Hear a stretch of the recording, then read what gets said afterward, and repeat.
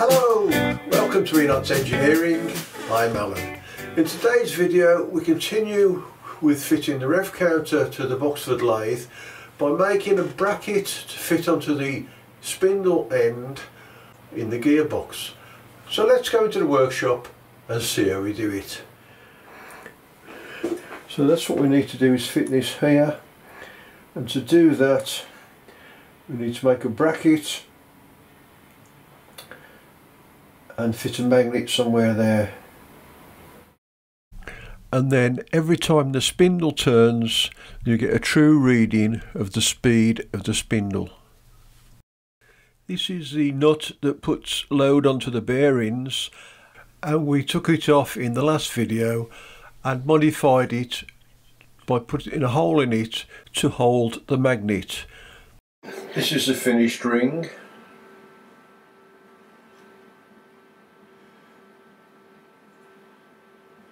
and that's the hole I've made for the magnet. Now I need to make a bracket for the sensor and fit it on here. I'll mark the position of the first hole ready for drilling. I've removed the three cap heads that hold the grease seal in position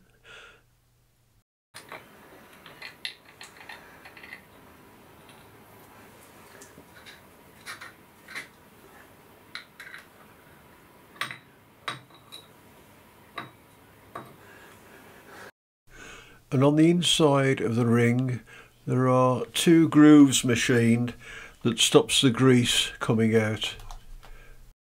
And that seems to work very well because there's no grease coming out of the back. It's all captured in the grooves.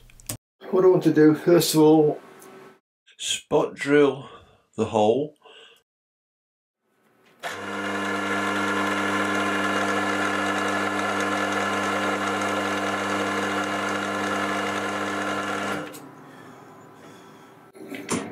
I've changed that for the drill for a M4 thread.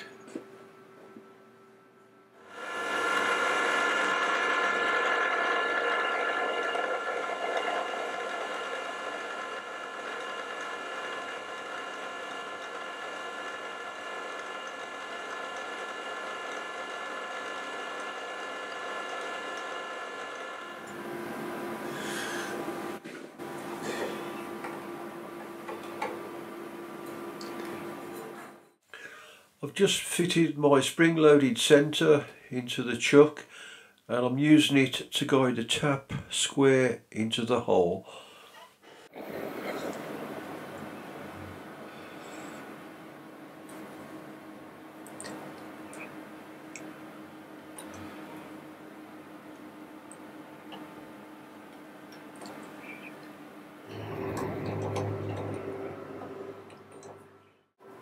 This is a 4mm by 0.7 tap.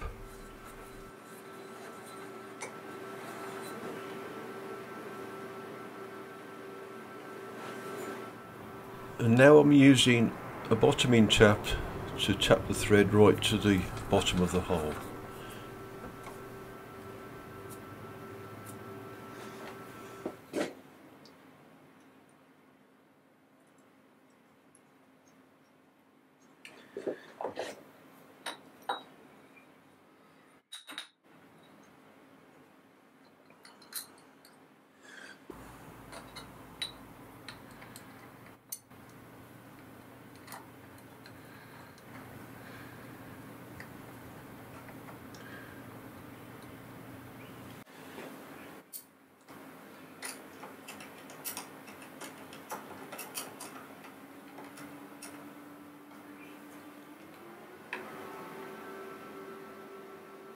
And now I need to drill the second hole in the bracket for the second screw to fit.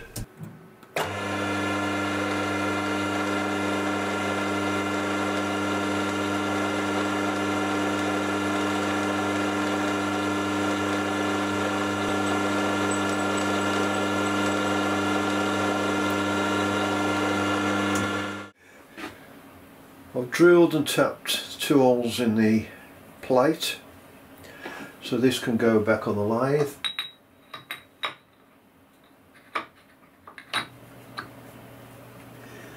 And it's secured with three cap heads.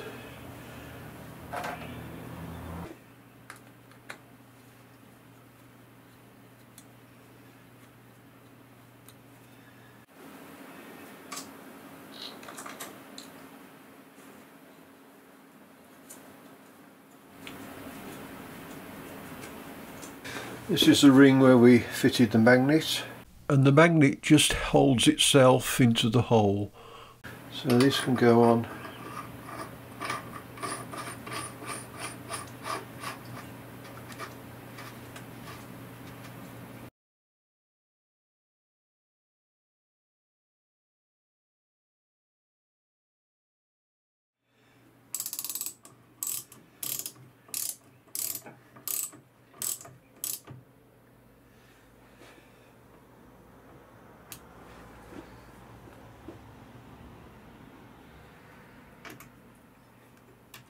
You can see now there's a line on the collar and there's a line on the headstock so I can align the two lines and that'll set the bearing pressure back to the same as when I took it off. Don't forget before I took the bearing nut off I did locate a bar in the chuck.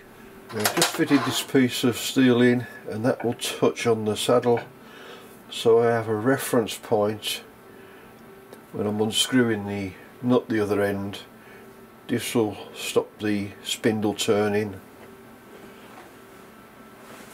Here's the magnet.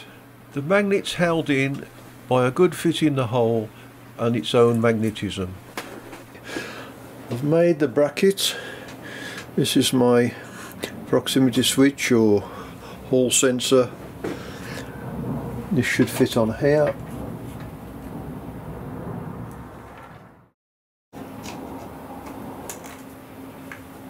I'm using two 4mm countersunk head screws.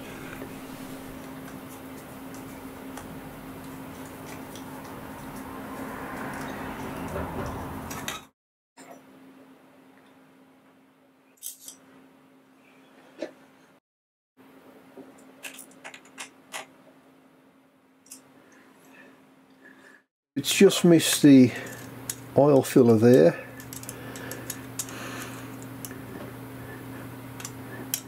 I've still got some adjustment on that. I can come closer, but I think it'll work at that distance from the ring, so you could pass something through the middle, there's no problem. Now before I put some tape around, don't forget to put the brass inserts and the grub screws back on the collar to lock the collar in position. What I'm doing now is just put some tape around the spindle end of the spindle where the magnet is not to hold anything on but so it'll be easier to get rid of any swarf off the magnet just by removing the tape to keep the magnet clean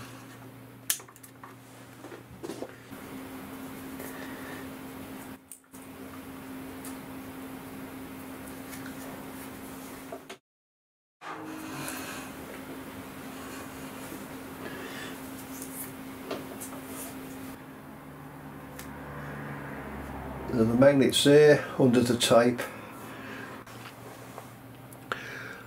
Just finished fitting the sensor and the wire just misses this oil filler hole. I've come down here and temporary I've gone out at the top of the hinge as a gap and just big enough for the wire to go through so I can still shut the door. What I'll do eventually is make a cable tie that goes under this bolt so I can hold the cable there. And probably drill a hole through about here with the grommet to send the wire through which will go into the back of the headstock where there's a cable conduit to send it back to the front. So this is all finished on this end except for a cable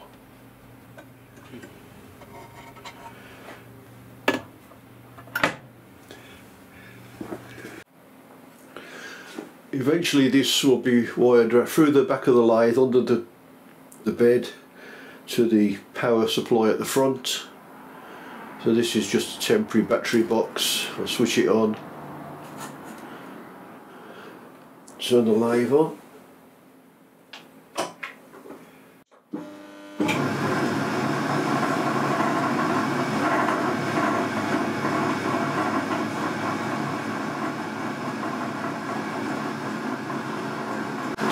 Gives a display of the revs.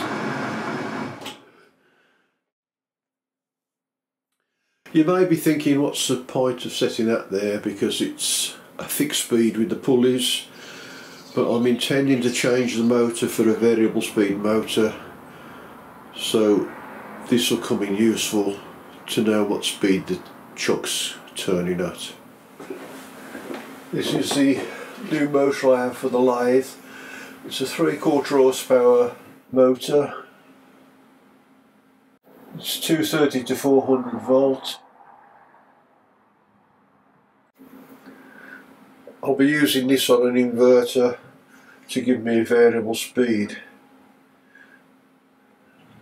That's my next project is to change the electrics from the old type of electrics of the 1950s to something a bit more up to date. Oh well, that's it for today. Thanks for watching. Hope that was useful and we'll see you next time on Enots Engineering.